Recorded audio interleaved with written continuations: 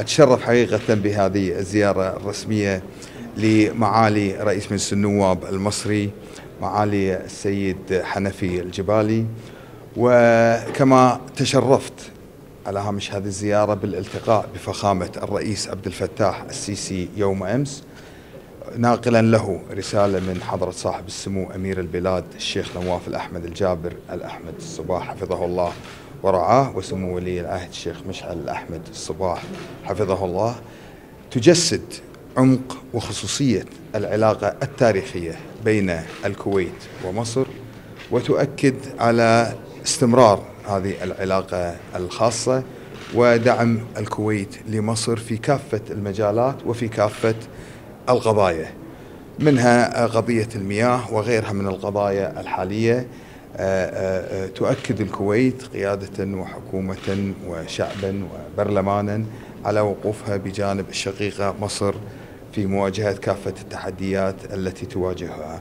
مصر الشقيقة لا يخفى على الجميع هي القلب النابض للعالم العربي. ومتى ما تعافت مصر تعافى العالم العربي بأجمعه. لذلك الكويت والكثير من الدول العربية تؤمن بهذه الحقيقة وتطبقها على أرض الواقع.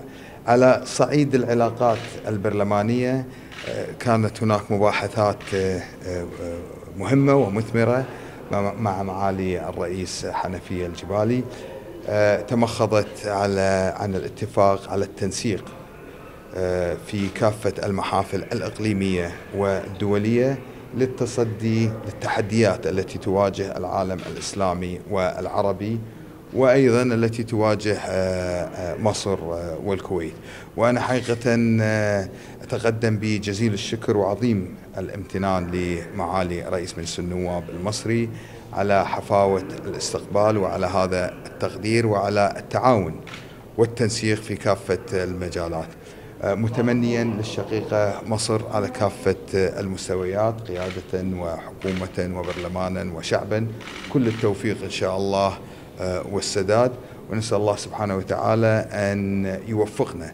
وقدرنا أن نكون في هذه المناصب في هذه المرحلة الدقيقة والحساسة. نسأل الله سبحانه وتعالى أن يوفقنا بأن نكون على مستوى طموحات الشعبين المصري والكويتي وأن نحقق إن شاء الله الأهداف المرجوة.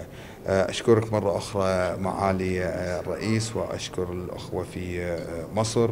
وأؤكد على عمق العلاقة الخاصة ونشكرهم على الاعتناء بكل الكويتيين الموجودين في في في مصر سواء كانوا طلبة أو غيرهم وأيضا نؤكد على الدور الهام للأخوة في الجالية المصرية في الكويت. شكرا مرة أخرى معالي الرئيس وإن شاء الله نوفق في تحويل ما تم الاتفاق عليه إلى واقع عملي ملموس.